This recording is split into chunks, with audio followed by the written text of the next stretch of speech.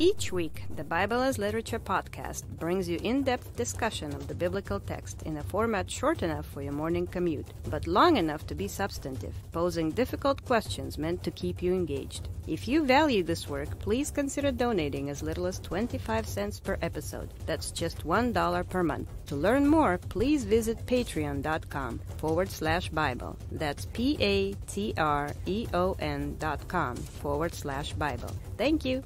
Hi, this is Father Marc Boulos with the Bible as Literature podcast. What then? Paul exclaimed to the church in Rome. Are we better than they? Not at all, for we have already charged that both Jews and Greeks are all under sin. As it is written, there is no one who is righteous, not even one. There is no one who understands. There is no one who seeks God. All have turned aside. Together they have become useless. There is no one who does good, not even one. Their throat is an open grave. With their tongues they keep deceiving. The poison of asps is under their lips, whose mouth is full of cursing and bitterness. Their feet are swift to shed blood. Destruction and misery are in their paths, and the path of peace they have not known. There is no fear of God before their eyes. Now we know that whatever the law says, it speaks to those who are under the law, so that every mouth may be shut, and all the world may become accountable to God because by the works of the law no flesh will be justified in his sight. For through the law comes the knowledge of sin. Romans chapter 3, verses 9 to 19. Richard and I discuss the Gospel of Mark, chapter 14, verses 43 to 52. You're listening to the Bible as literature.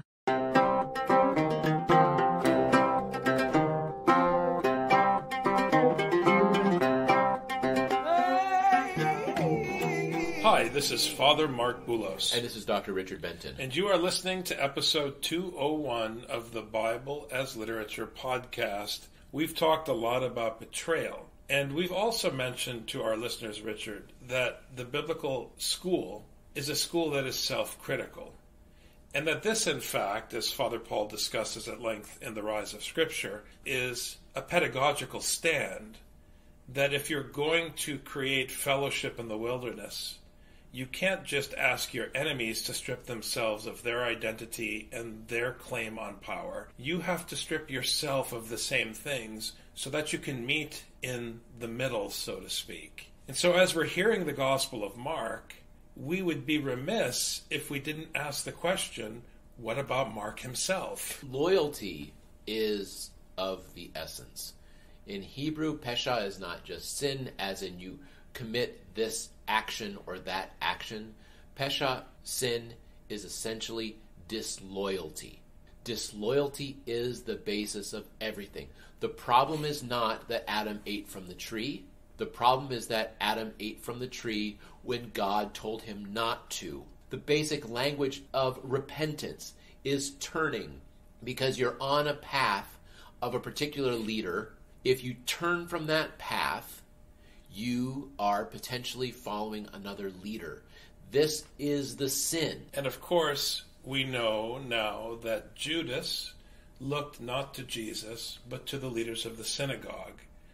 We know that Peter looked not to Jesus, but to the leaders of the church in Jerusalem, as evidenced by his betrayal of Paul's teaching in Galatians and Acts. And there's another incident in Acts that pertains to Mark, who was also called John. And at one point in chapter 15 in Acts, Paul didn't want Mark to come along because he was concerned about whether or not Mark was trustworthy. Trust was a big issue. And so Mark went with Barnabas, and Barnabas would ask for Mark very often in the book of Acts, but Barnabas himself was suspect. His loyalty to Paul, which is about the loyalty to the gospel. Paul, the individual, isn't what we're talking about. We're talking about that which Paul carried, which was the gospel to the nations, Jesus Christ. Mark was suspect. Barnabas was suspect. Everybody waffled.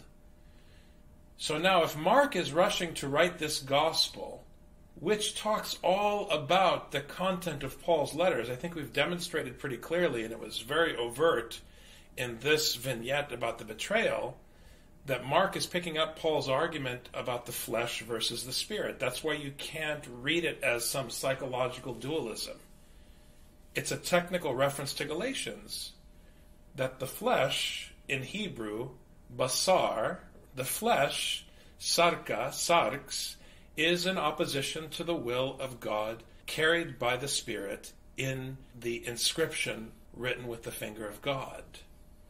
This is what's at stake. So it's an important background to hear as we move into this section of chapter 14 because understanding this background is going to unlock some mysteries that to us don't seem very mysterious. Immediately, while he was still speaking, Judas, one of the twelve, came up accompanied by a crowd with swords and clubs, who were from the chief priests and the scribes and the elders. This perfectly describes Judas's loyalty. Now, a lot of times we think, oh, well, Judas just went rogue. He had his own plan for how he's going to overthrow the Romans, or whatever you want to say. The point is that he turned from Jesus and turned to Jesus' arch enemies, who were the chief priests and the scribes and the elders. Jesus' arch enemy in Mark has not been the Romans. He has not been fighting with the Romans. He has not been arguing with the Romans. He has been fighting and arguing with the chief priests, the scribes, and the elders. Now, some of our listeners have asked, why are you guys so hard on Peter in particular? And the answer is that you and I aren't being hard on Peter among all of these folks who have been duplicitous. Peter is singled out in the Gospel of Mark by Mark himself. Peter is the one who argues most vociferously that the one who betrays Jesus could not possibly be him. Yet, Jesus reminds him that he is the one who will deny him most vociferously when it comes to that time. Peter is setting himself apart, and Jesus is setting him apart, and every time he stumbles and falls. And if you're defending Peter in a text that is saying that everybody around Jesus is suspect, if you hear Peter cry later and you pity him, you're not weeping because you're concerned about Peter. You're weeping because you're concerned about yourself. This is the problem with pity or empathy for characters who are under judgment. Don't fall in the trap. Because if you give Peter a pass, or you give Mark a pass under the guise of, you know, being compassionate, you're making yourself the judge. You have no right to comment on Peter in this sense. So please hear the text. It's a section where you're being told you're one of the betrayers. Oh, Peter had good reasons. Oh, Judas had his reasons why. It doesn't matter. You're either loyal or you're disloyal. You can't be disloyal with good reasons and call that loyal. It's not noble to make excuses for another person's sin. This is a false piety, and people do it all the time. It's noble to take on someone's punishment. It's not noble to make excuses for their sin. When you're just making excuses because you feel bad, because their situation makes you uncomfortable, you are not acting out of love. You are acting out of self preservation. This is a point that I have to keep making. And if you don't recognize this, this false mercy, you're going to do what everyone does and say, well, Peter wasn't that bad. It was really Judas who was the one who really betrayed him. And once you do that, you yourself are under the judgment of this text. That's what I'm trying to say. Now, he who was betraying him had given them a signal saying, Whomever I kiss, he is the one. Seize him and lead him away under guard. I love the fact that it's a kiss, because a kiss is an expression of loyalty, fidelity, affinity, fraternity, friendship. It's both a technical gesture in the ancient world and to some degree in the modern world. Especially if you watch The Godfather, a kiss has a much different If, meaning. if you watch The Godfather, you understand the kiss in a Roman context, correct? And in that way, it shows how these gestures of sentiment and fidelity are a kind of lip service, as Isaiah says. Again, when you are trying to defend Peter because you're trying to show that you understand him and you have compassion for him and go easy on him, you are giving lip service to mercy, but you are executing judgment against the accused Judas. It's a slippery slope. I really want to stress this because your relationship to this text, the way that you interact with the judgment of this text, betrays your attitude towards the weaker brother in real life. And we fool ourselves by giving a kiss and a pat on the back to the weaker brother all the time. And look, notice how clever it is. You sound compassionate when you empathize with Peter. But what is your compassion worth? And who are you to judge? Either to condemn or to exonerate. Who are you to judge? After coming, Judas immediately went to him, saying, Rabbi, and kissed him. And this is how he betrays himself. It's become kind of cliche in our culture, betrayed with the kiss.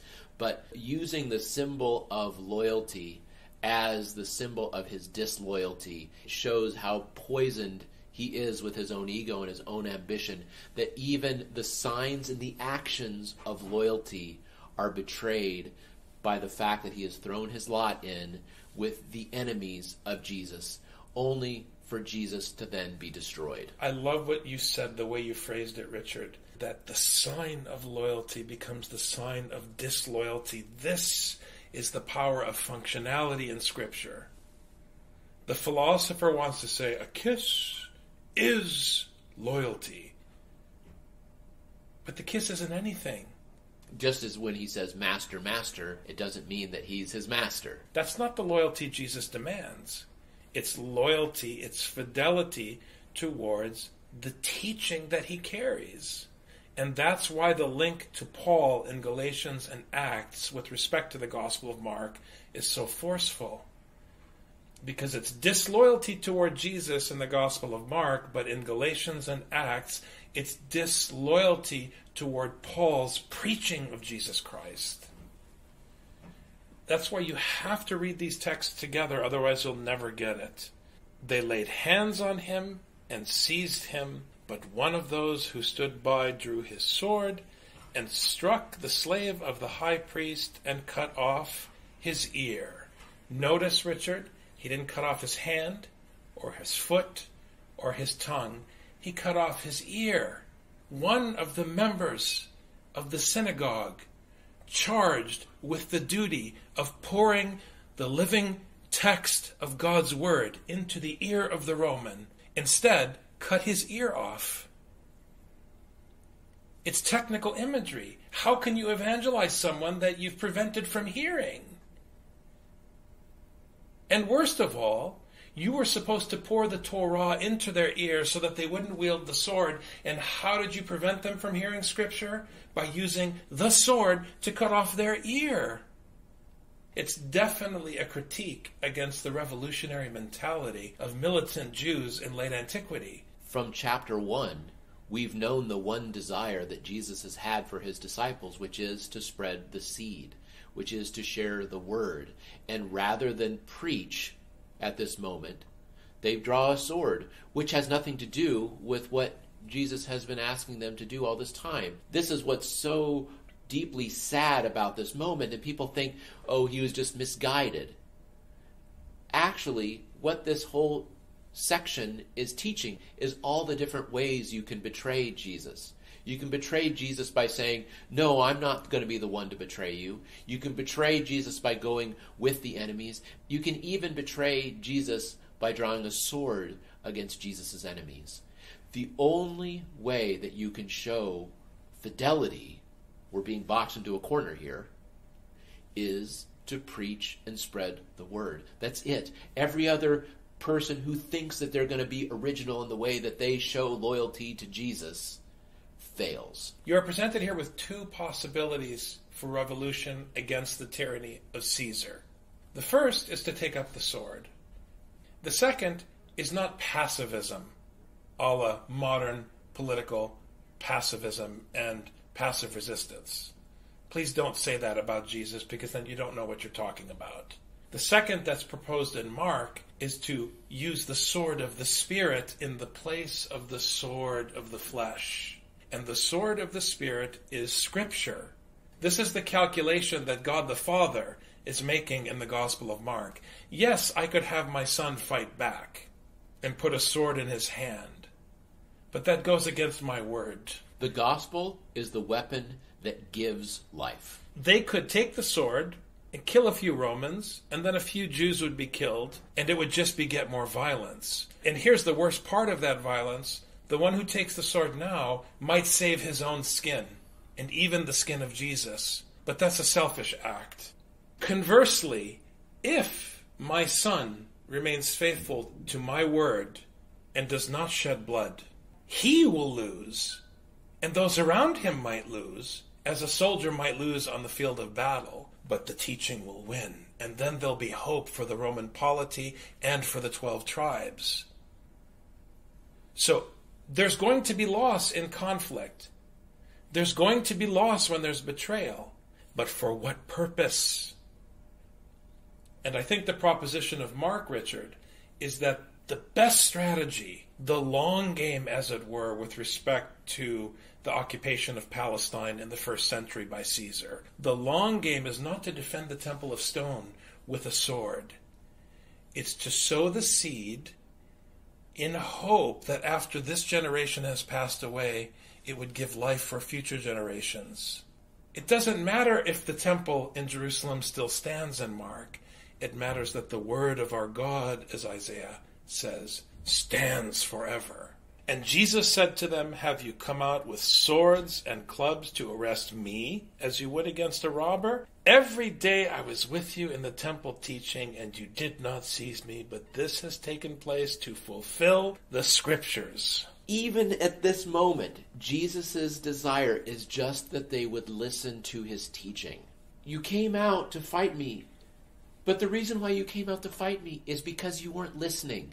If only you were listening, you would not be coming out against me like I'm some robber. If only you were listening, you would see that I'm not the enemy of the people, I'm the enemy of the false teaching. You mentioned pacifism a moment ago, Father. He's not deciding not to fight back because he's a pacifist, but so that the scriptures could be fulfilled. The will of his Father. He is only there to fulfill this will as expressed in the scripture. And so he doesn't fight back because the point is scripture. The point is the gospel. Any action that impedes the gospel is that sin, is that rebellion that Jesus, since he was teaching all this time in the temple, has been trying to get through to the people. Which means that the true rebellion is obedience because it is the word of God that is controlling the situation, not Caesar and not the synagogue. This is a declaration to all that is as open as his preaching was. He's saying to them also, Look, I never hid from you. Everything was on the record. Why now suddenly you finally figured out that this teaching poses a problem for you? Why couldn't you come ask me about it before when I was just teaching? You didn't notice that I was teaching and you weren't listening to me. Why all of a sudden is this a threat? But in classic Pauline style, if you will whether or not you were listening, it is on the record, and therefore it does apply, and whether you know it or not, it is controlling the situation, which means that you, despite yourself, are still accountable to what I was teaching. Absolutely. And they all left him and fled. This is the fulfillment of the betrayal, and this is where we get into the interesting part that brings us back around to Mark, Richard. A young man was following him wearing nothing but a linen sheet over his naked body, and they seized him. Remember that Mark was a young man. That's number one. But he pulled free of the linen sheet and escaped naked. Remember also that at the end of the Gospel of Mark, a young man appears at the tomb dressed in white. So there's a connection between the young man here and the young man at the end of the Gospel sitting at the tomb proclaiming to you the Gospel. Here we have Mark's duplicity expressed by Mark as the author of this text that he was following along, then he got caught, and then he ran away, which parallels what happened in Acts. But for those of you who feel so sad that all the disciples are bad guys and why are we calling this out, if Mark himself is presenting himself as a betrayer in the text of his own gospel, Everyone is a betrayer. everyone's a betrayer. You're a betrayer too. That's the problem with Hellenism and your system of heroes and hero worship. Because you project your ego into the hero. It's the problem with the idea of a protagonist in Western literature. Because you find the good guy in the story and you project your ego into the protagonist. In Scripture, the only protagonist is God. And you can't project your ego into God because, as we learn from Genesis, you are not God, Adam. So if the only protagonist is God, and you can't project your ego into the protagonist, and everybody else is wrong, if you start defending them for their mistakes under the guise of compassion, what you're really doing is fulfilling the Psalms against yourself and making excuses and excuses in sin for yourself. And this is essential, Richard, because this mentality is the basis for modern spirituality and piety. Everyone patting themselves on the back for their sins, or conversely, condemning each other for their sins. It's two sides of the same coin. There is one judge, and Paul will not judge himself until the time. Judas, the chief priests, the scribes, the elders, everyone with Jesus, the guy with the sword, and the guy with the linen cloth, every single one of them betrayed Jesus. Don't think that you, the listener, are the big exception. Oh, I would have stayed by. I would have stayed by. You know what? There's a guy actually who said that. His name's Peter, and we'll see in an upcoming episode what happens with him. Right, right. It could happen to you, friends. Thanks very much, Dr. Benton. Thank you, Father. You've just heard the Bible as literature. Thanks for listening. The Bible as Literature is a production of the Ephesus School Network.